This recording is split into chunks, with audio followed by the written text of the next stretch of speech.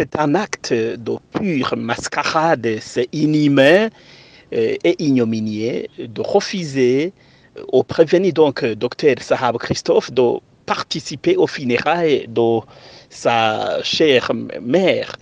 C'est contraire même euh, à la loi portant révision du régime pénitentiaire au Burundi qui accorde ce droit à un prévenu au premier degré d'un membre de sa famille.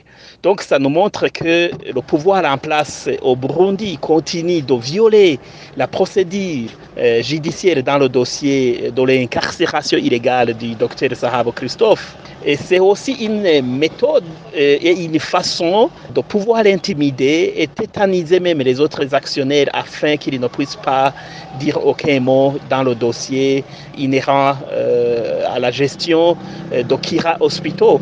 étant donné même que le pouvoir en place veut spolier les actions des autres actionnaires étrangers, donc les Suisses, dans cet hôpital. C'est vraiment horrible. Le pouvoir en place s'enfonce davantage quant à euh, sa mauvaise notoriété et sa, son, mauvaise image euh, au niveau du concert des nations. C'est euh, vraiment horrible, c'est vraiment cruel de refuser ce droit à un prévenu alors que la loi le lui accorde.